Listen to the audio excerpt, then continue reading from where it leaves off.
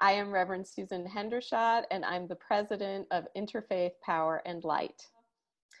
Interfaith Power and Light was founded 20 years ago as a religious response to global warming, and our mission is to inspire and mobilize people of faith and conscience to take bold and just action on climate change.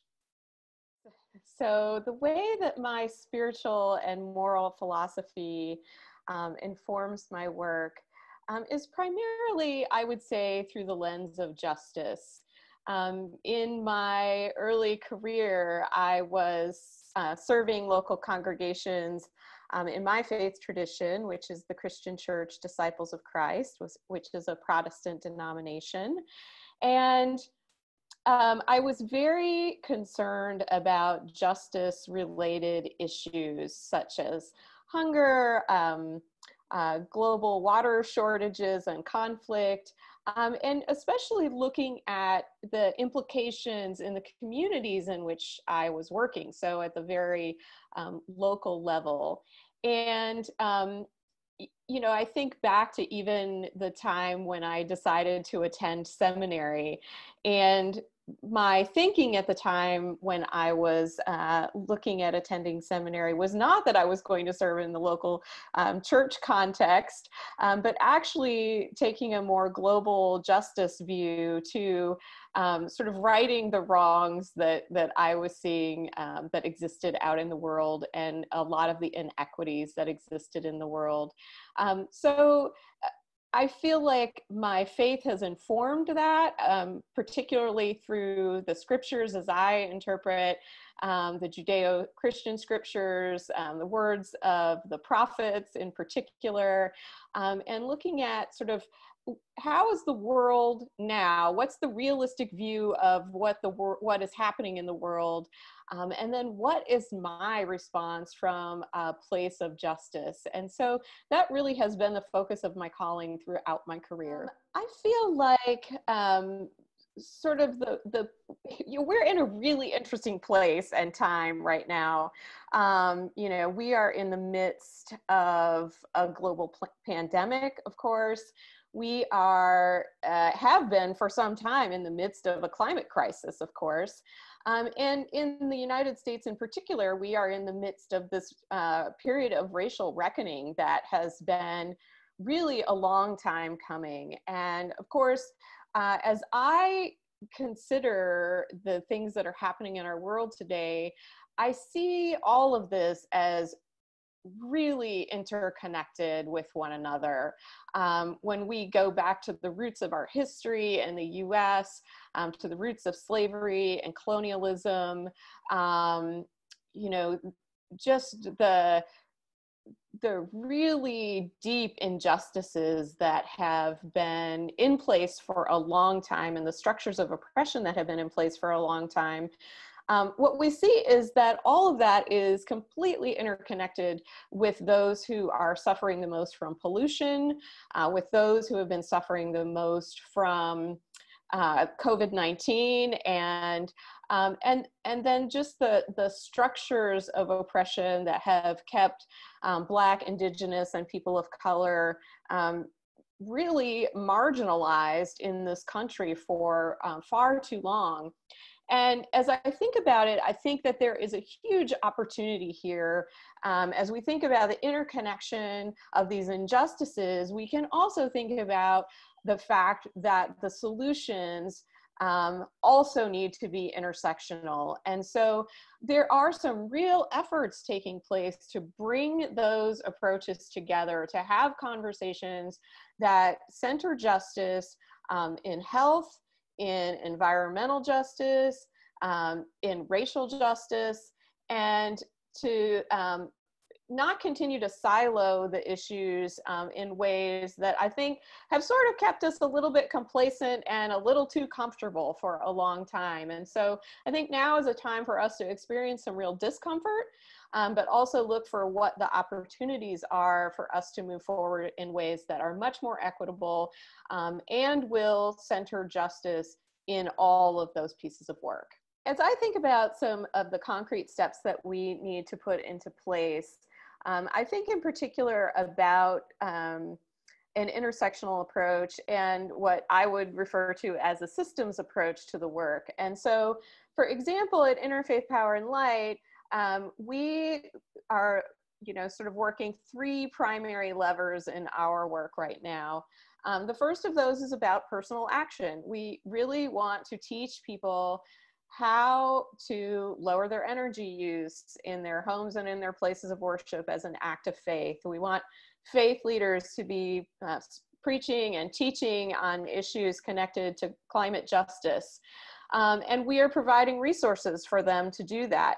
Um, but we know that we can't stop there, that it isn't just about personal action, and that's not going to get us where we need to be. So the second lever is around advocacy, and we have affiliates in 40 states around the country, which gives us the ability to work uh, on policy advocacy at the local, the state, and the federal level. And we know that it's the combination of those things. You know, sometimes there's there's greater opportunity at the local level than there is at the state or the federal level. Sometimes it's at the state level. Right now, it's a little challenging at the federal level.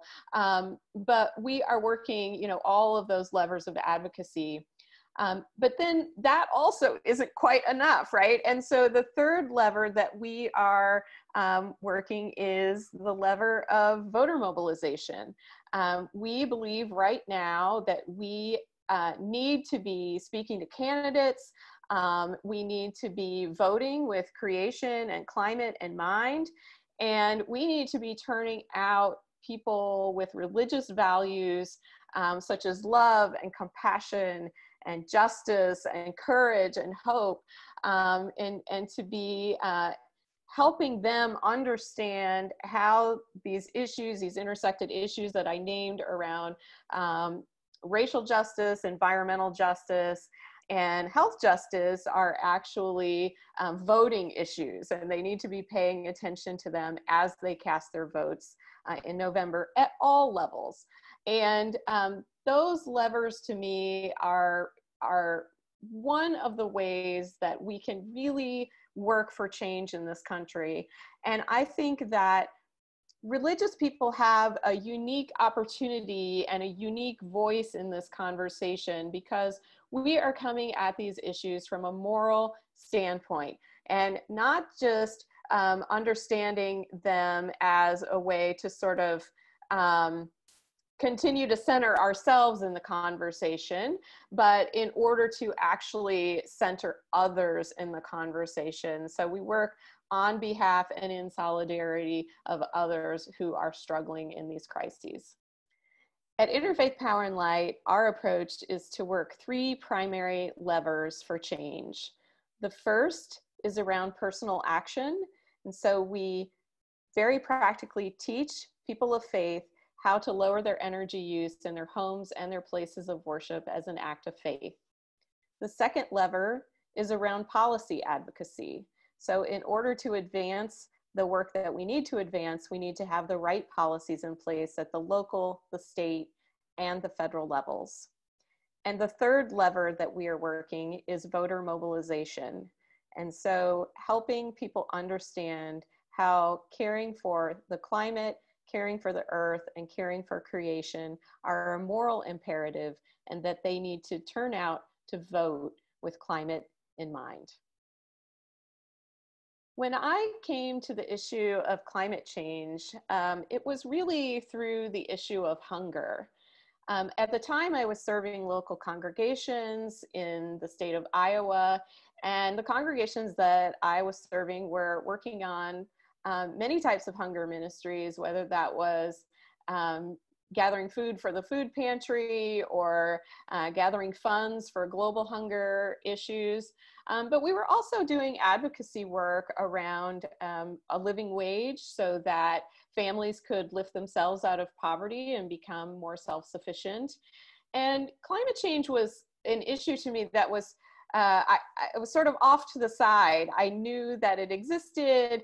And I thought, you know, I was doing my recycling and composting in my garden, and um, I had changed my light bulbs. And so I really thought I was doing what I needed to do on the issue of climate change. And it wasn't until I read an article on the geopolitics of food that connected the dots for me between the issue of hunger and the issue of climate change that I recognized that if I truly wanted to solve global hunger, I really needed to be working on climate change.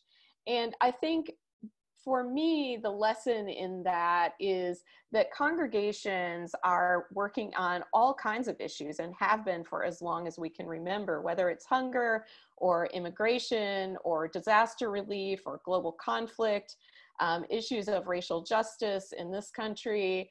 Um, we uh, often don't see the connection between our issue and the issue of climate change. Um, but these issues are very intersected, and our approaches to the solutions for them need to be intersected as well. And my main takeaway personally in that time was looking at the fact that I have two sons, and I really was compelled to be able to look them in the eyes and tell them that I had done everything that I could to work for solutions, knowing that they and their generation would be even more impacted by climate change than my own. And so that has been a lesson for me and a way to connect with congregations um, in a way that, that values the work that they're already doing um, on these other issues and also um, helping them to understand the intersection with the issue of climate and how we can work on both of those issues together.